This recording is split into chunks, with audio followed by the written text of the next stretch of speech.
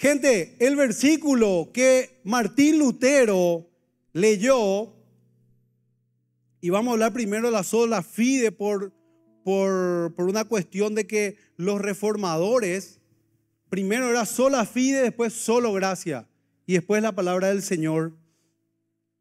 Eh, Martín Lutero leyó esta parte.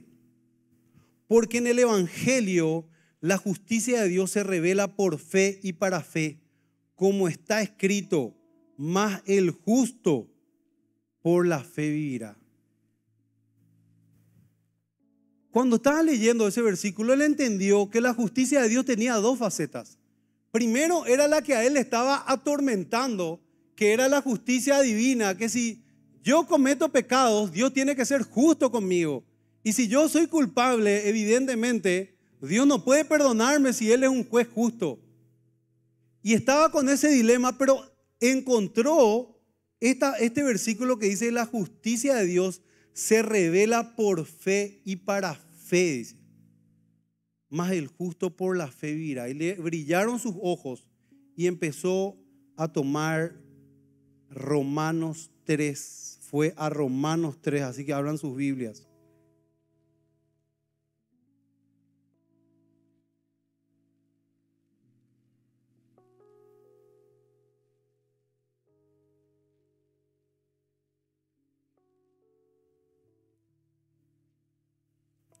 Porque por las obras de la ley ningún ser humano será justificado delante de él, pues por medio de la ley viene el conocimiento del pecado. Pero ahora, aparte de la ley, la justicia de Dios ha sido manifestada, atestiguada por la ley y los profetas. Es decir, la justicia de Dios por medio de la fe en Jesucristo para todos los que creen, porque no hay distinción por cuanto todos pecaron y no alcanzan la gloria de Dios, siendo justificados gratuitamente por su gracia por medio de la redención que es en Cristo Jesús, a quien Dios exhibió públicamente como propiciación por su sangre a través de la fe como demostración de su justicia, porque en su tolerancia Dios pasó por alto los pecados cometidos anteriormente para demostrar en este tiempo su justicia a fin de que Él sea el justo y sea el que justifica al que tiene fe en Jesús por medio de las obras de la ley, dice acá, ningún ser humano puede ser justificado. ¿Por qué ningún ser humano puede ser justificado por las obras de la ley? Porque todos hemos pecado. Como estábamos hablando recién en las charlas previas, Jorge justamente estaba diciendo que la ley de Dios demanda dos cosas. Primero demanda que vos tengas que cumplir absolutamente toda la ley demanda una santidad, demanda una perfección moral.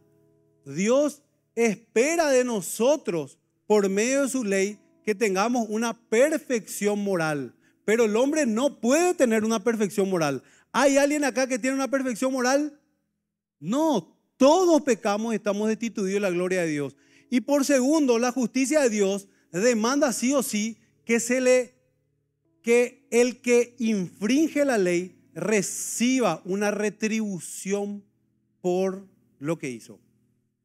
Entonces, vemos, Martín Lutero estaba entendiendo estas grandes verdades y es ahí donde se diferencia la fe cristiana y el Evangelio, porque el Evangelio es justamente Dios no puede perdonarte a menos que alguien pague por vos porque no hay ningún ser humano que pueda cumplir todas las demandas de la ley. Entonces, esta justicia de Dios, como era una realidad de que Dios debe pagar, debe condenar, la ira de Dios debe condenar a aquel que pecó, está destituido de su gloria, también se requiere que se pague esa deuda y que se cumpla toda la ley. Martín Lutero dijo, estoy desesperado porque yo no puedo, aunque yo vuelva a vivir dos veces, no voy a poder ser totalmente justo. Aunque Dios me dé la oportunidad de portarme bien siempre, no lo voy a lograr. Portarme una vez bien, dos veces, cumplir la ley es imposible. Entonces, él dijo, el justo por la fe vivirá. Hay una justicia de Dios que se recibe por medio de la fe, no de mi justicia, sino de la justicia de otro. O sea, Martín Lutero dijo, quiere decir que yo por medio de la fe puedo adquirir una perfección moral y a la vez puedo estar como si fuera que pagué esa deuda por medio de la fe. Literalmente, podés ser perfectamente moral delante de Dios por medio de la fe. Entonces, ¿dónde están las obras? Las obras no pueden hacer que vos seas perfecto moralmente delante de Dios. Es imposible. Los diez mandamientos no lo podemos pagar. Entonces, esa fe no es algo que vos tenés que hacer. La fe, más que nada, es algo que vos tenés que recibir. Entonces, no estamos hablando de hacer algo. Estamos hablando de que vos sos alguien que tenés, o sea, desde el punto de vista de una acción es algo pasivo, pero desde el punto de vista del corazón sí se recibe, pero se recibe en el corazón. Entonces, la Biblia dice en un versículo que Abraham creyó a Dios y le fue contado por justicia. Esa palabra, ah, perdón, Abraham creyó en Dios y le fue contado por justicia y fue llamado amigo de Dios. Entonces, ¿por qué solamente por la fe podemos llegar a ser justos delante de Dios? Porque nuestras obras no son suficientes para poder cumplir con las demandas de santidad completa y la condena que Dios tiene para todo aquel que peca. Todos somos culpables. Ahora, dice que si vos crees, si vos confías en Dios, Dios va a contarte por justicia y va a llamarte amigo de Dios. Esa palabra en el griego justicia eh, fue contado, viene de un vocablo griego que se llama logisomai, que significa tomar algo que le pertenece a alguien y acreditárselo a la cuenta de otro. Entonces, hermanos, cuando surge este tema, Martín Lutero entiende que él se estaba atormentando en vano porque la verdadera justicia, según la Biblia, no venía por sus obras, sino que venía por confiar en la obra de Cristo. Y por confiar en la obra de Cristo, Dios le atribuía a Martín Lutero la justicia de Cristo y la condena que pagó Cristo. Por lo tanto, la palabra de Dios dice que Lutero creyó a Dios, en este caso es la palabra de Dios que dice fue Abraham, pero Lutero sintió esta verdad y este vocablo logizomai y él tomó eso que no le pertenecía, pero le pertenecía a Cristo y él la recibió por medio de la fe.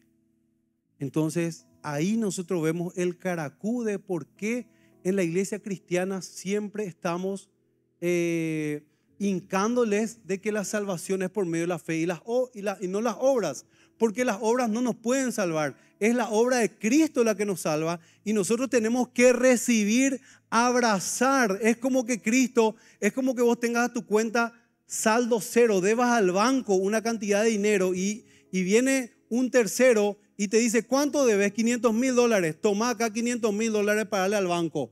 Pero todavía estás en bancarrota porque ya le pagaste tu deuda, pero ahora él te acredita otros 500 mil más, como si fuera que vos viviste la vida de Cristo por medio de la fe. Por eso, hermanos queridos, esto es por fe. Ahora, la fe transforma el corazón y luego produce buenas obras. No hay que confundir lo que dice Santiago.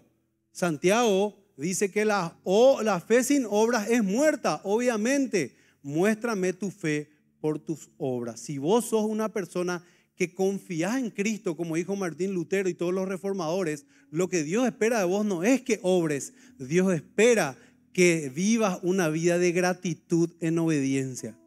Entonces lo que espera la gracia no es retribución, lo que espera la gracia es una gratitud.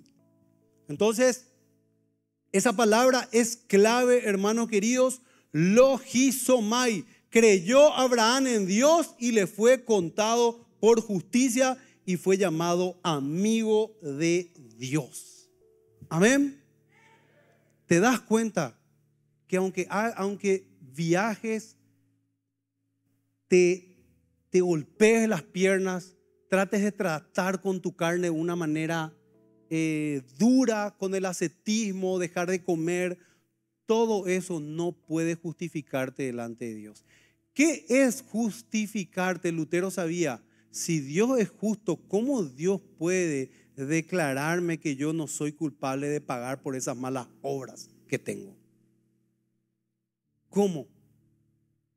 Y por medio de la fe, Dios no es algo interno, no es algo que viene como estaban enseñando en Roma, que viene de tu esfuerzo, que viene de tu ascetismo, que viene de tu manera en que vos pagás indulgencias. No viene de vos. La justificación es algo que viene externamente y Dios te regala.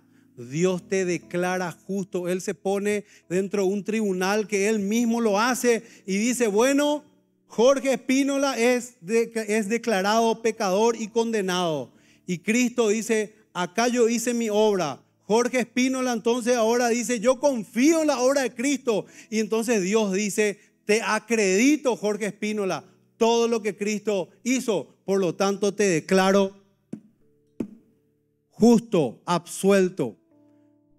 Yo tengo un dilema jurídico porque muchos teólogos dicen inocente, pero a mí no me gusta la palabra inocente en un sentido de nuestro vocabulario vernáculo, ¿verdad? Porque la palabra inocente muchas veces decimos a alguien que no tuvo culpa y realmente nosotros somos justificados. ¿Sabes qué? Pecamos y no justificaron. Porque el inocente es aquel que no pecó, pero nosotros pecamos y el juez nos declaró justo porque el poder de Cristo y las obras de Cristo son mucho mayores. Así que esa fe te acredita esa salvación y esa justificación. Tiene que haber noticia, noticia, noticia, digo así, eh, eh, queda feo, pero tiene que haber la noticia, la fe, para que sea una fe verdadera, vos tenés que recibir el, el Evangelio. O sea, Cristo murió por nuestros pecados. Pero eso no es suficiente, vos ya sabes eso. Ahora tenés que hacer el ascensus, tenés que afirmar, sí, Cristo murió por mis pecados, pero el diablo también dice, Cristo, eh, Dios existe y tiembla, o sea, él también tiene conciencia. Un ateo también puede afirmar y decir, es cierto, este tema es muy racional, muy lógico, pero falta lo último, la fiducia, que es la confianza en Cristo, esa confianza es justamente no hacer algo, es descansar en Cristo. Señor, yo no puedo, no puedo, mis obras no. ¿Y qué haces? Tú lo hiciste y yo descanso en vos. Es literalmente, una vez un teólogo dijo, dio el ejemplo, es sentarte en la silla.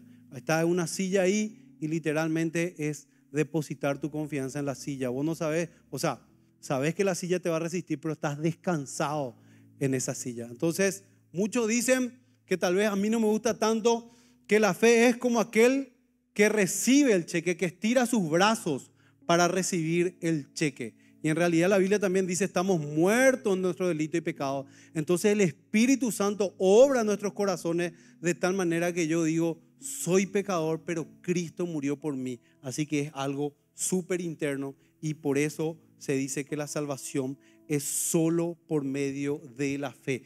La sola gracia, ¿saben cuál es la diferencia entre todas las religiones y el cristianismo? Te lo digo rápido. Las obras. Si vos, eh, acá el profesor Miguel Núñez en, su libro anoté, dice, el budismo tiene un sistema de ocho pasos para llegar a liberar al hombre de sus deseos egoístas en esta vida, porque no hay otra vida después de esta. Entonces, eso es por obras. El hinduismo tiene la ley del karma que habla de cómo el ser humano reencarna una y otra vez por miles y quizás millones de años para purificar su karma hasta llegar supuestamente a unirse con Brahma cuando entonces pierde su identidad. Según las creencias de esta religión, Brahma, la deidad suprema, es la única verdadera realidad. Obras de purificación del karma, esfuerzo humano. El Islam y el judaísmo también requieren el cumplimiento de la ley y del Corán. Entonces la única, la, la, gran diferencia del cristianismo y las otras religiones es que en el cristianismo vos no tenés que orar. Es Cristo el que obra. Todos dicen, si yo obro, me dan la salvación. Pero el cristianismo es al revés. Cristo obró y yo recibo la salvación. La salvación no es como un trabajo que si yo hago, porque eso es el ejemplo que da el apóstol, si yo hago, Dios me da como una recompensa de mi trabajo. Pero acá la Biblia dice que Dios te da por gracia. Te regala porque vos no pudiste obrar. Fue Cristo el que obró. Fue Cristo el que se sacrificó. Fue Cristo el que vino. Y Cristo ahora a todos los que tienen fe, los que confían, dice, yo te regalo la salvación.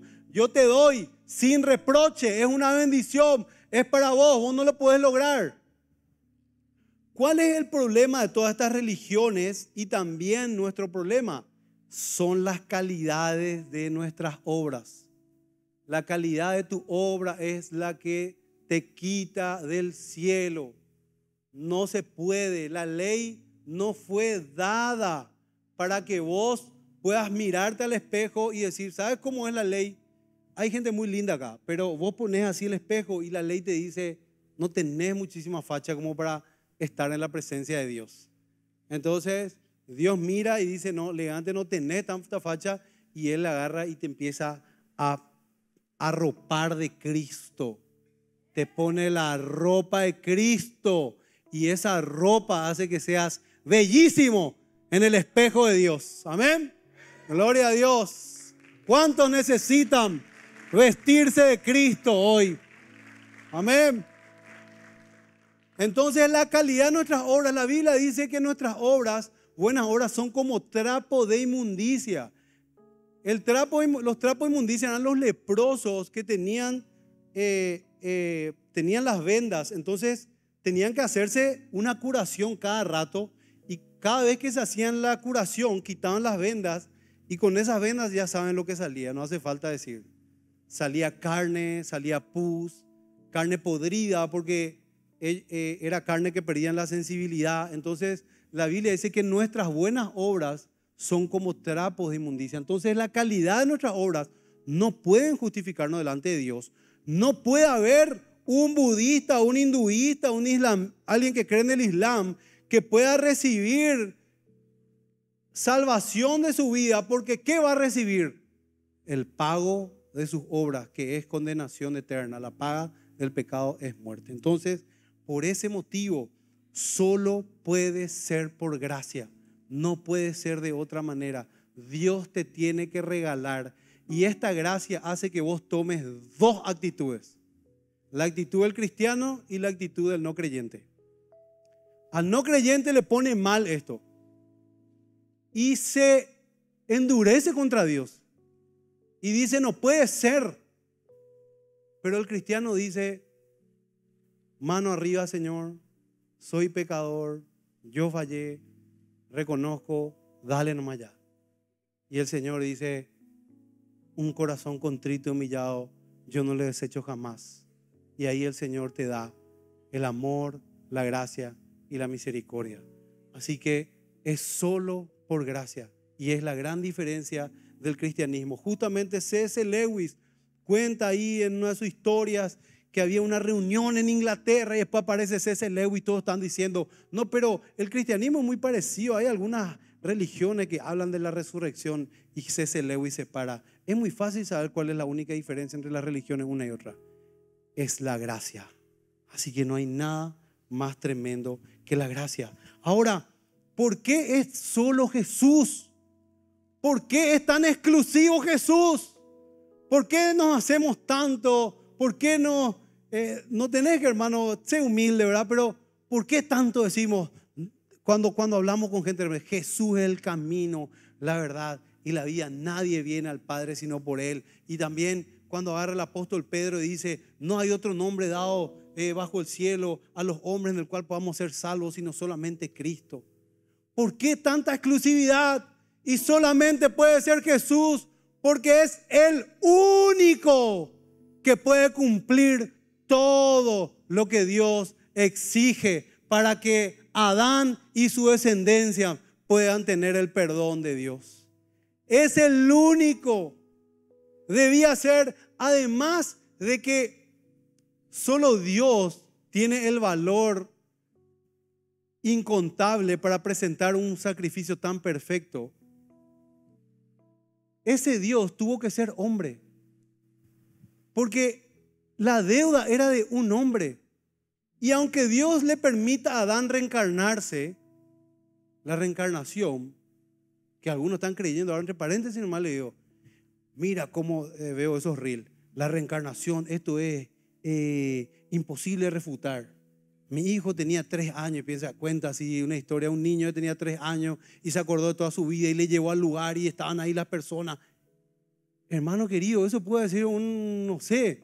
Y la gente ahí creyendo de verdad, te digo, yo tengo un amigo así, vino y me dijo, che, esto está jodido el tema de la reencarnación. ¿Y cuál es la fuente? Y mirá un poco. Pero esta es una historia, ¿cómo vos sabés? Vos le conocés, vos estuviste ahí, increíble. Pero bueno, aunque Adán se reencarne y se reencarne y se reencarne y viva y viva y viva y tenga la oportunidad una y otra vez, él no lo iba a lograr. Y un hijo de Adán nació de una virgen, dice, para salvar al pueblo, a su pueblo de sus pecados. Y tenía que tener una vida totalmente justa, sin pecado, cumplir la ley porque él tenía que ser esa ovejita, como esa ovejita de un año perfecta y sin mancha. Y, la gente más cercana a él dijo, nosotros estuvimos con Jesús y vimos que él no pecó, que nunca salió palabra mala de su boca, que nunca hizo nada malo. ¿Por qué esta exclusividad?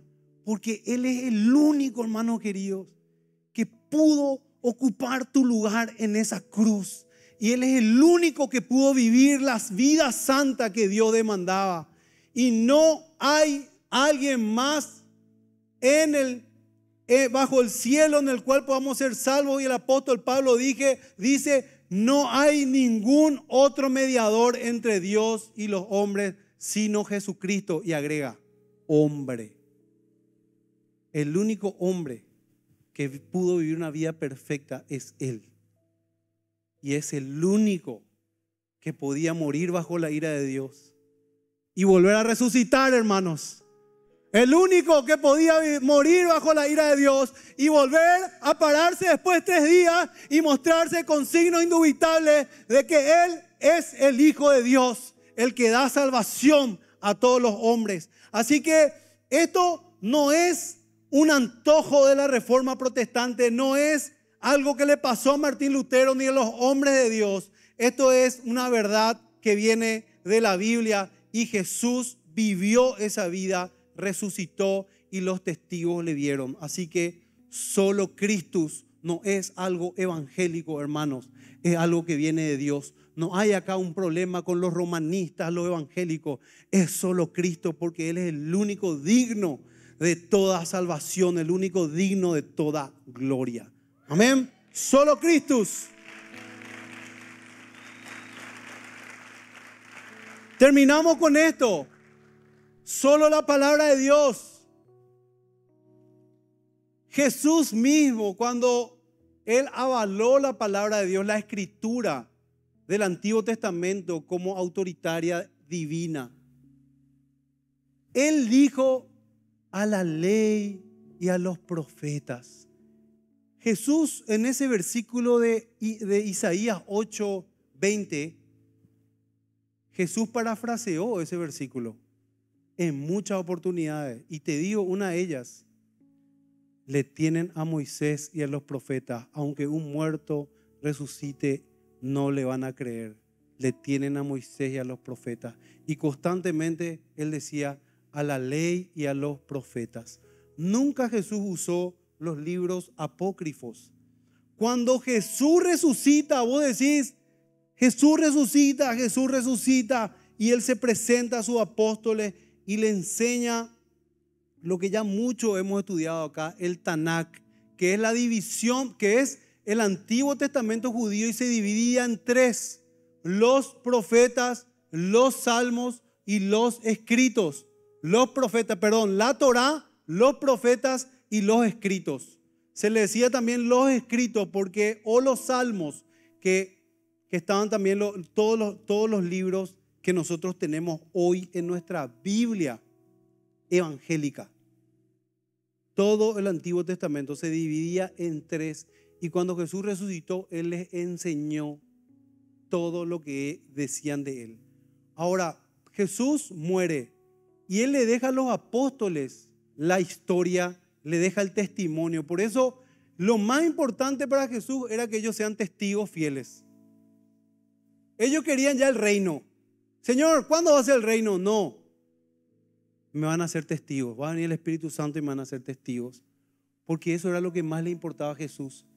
Ahora, vino, la, vino después la oscuridad, donde la iglesia de la época, en el, año 400, em, ustedes saben que me olvidé de mi documento, que anoté algo que era importante para la sola escritura. Un teólogo romanista de católico romano, él dice, en los años, en el siglo IV, cuando arranca el, reinado constantino y empieza a, entrelazarse con la iglesia de la época, dice que abiertamente este, este teólogo historiador dice, abrazaron todas las prácticas paganas de los pueblos que fueron conquistados por Roma y prácticamente cambiaron las prácticas de, por ejemplo, si era una práctica de un, de, un paganismo, le cambiaban de nombre para que ellos sean, eh, no sean reacios a esta nueva fe que era eh, la fe oficial a partir de ahora del imperio. Es tremendo lo que escribe este varón y ese paganismo se empezó a dar muy fuertemente y por eso hubo una necesidad absoluta de volver a la fuente, de volver a la ley y al testimonio, porque en la época de Martín Lutero y todos los hombres, cuando la Biblia llegaba al, al idioma vernáculo, todo lo que estudiaban la Biblia se daban cuenta que las prácticas que estaban en la Biblia eran totalmente ajenas a esas prácticas paganas que se estaban dando. Entonces, nosotros tenemos la seguridad. Si bien es cierto que nosotros tenemos parte de la herencia protestante, nosotros somos, hermanos queridos, los hijos de la escritura.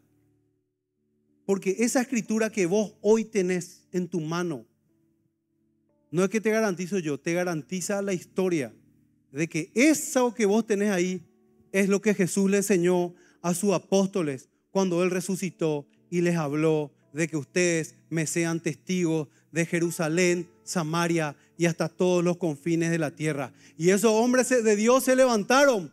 ¿Para qué? Para que volvamos a la sola escritura, volvamos a la fuente que es la palabra de Dios.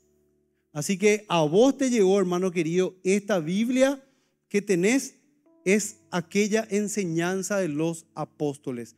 Es otra prédica, vamos a hacer cómo llegó la escritura acá, ya hicimos muchas veces, hablamos en fundamento, pero esto cada rato se nos olvida, por eso es importante que hagamos, pero no es parte de la prédica ahora, porque estamos hablando de la teología de la sola escritura.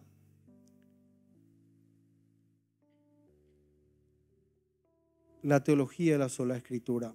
Eh, hermanos, no es algo que vino de parte de los hombres, nunca fue motivada o, vino del corazón de los hombres. Dice la Biblia, ya les digo, me estoy, primera de Pedro es.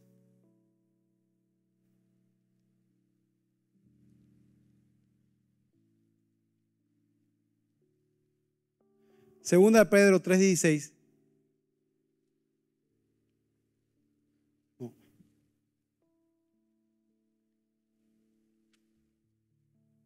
Increíble es. Pero bueno, acá voy a encontrar rápido. Disculpen, gente. Dice el apóstol, ninguna escritura vino motivada por hombres, sino que vino literalmente de Dios. Los santos hombres hablaron directamente de parte de Dios y que la escritura no puede ser de interpretación privada.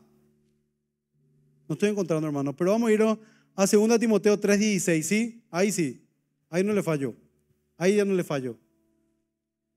Toda la escritura es inspirada por Dios y útil para enseñar, para redarguir, para corregir, para instruir en justicia, a fin de que el hombre de Dios sea perfecto, enteramente preparado para toda buena obra. Gente linda, no solamente es sola escritura, no solamente la escritura es nuestra última autoridad en, en práctica y todo lo que hacemos, sino que tiene que ser también total escritura.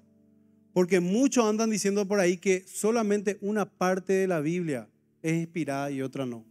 Acá la Biblia te dice, toda la escritura es inspirada por Dios. Así que esta Biblia que vos tenés ahí en tu mano y que Dios te regaló para que vos tengas, es una inspiración divina que no viene del ser humano y por medio de ella Dios trae su mensaje a la humanidad. Anteriormente Dios nos habló de muchísimas maneras. Dice Hebreos 1, ayer Sammy estaba predicando, pero en los postreros días Dios nos habló a través de su Hijo. Hermanos queridos, Dios les bendiga. Que el Evangelio hoy esté siendo predicado es una bendición.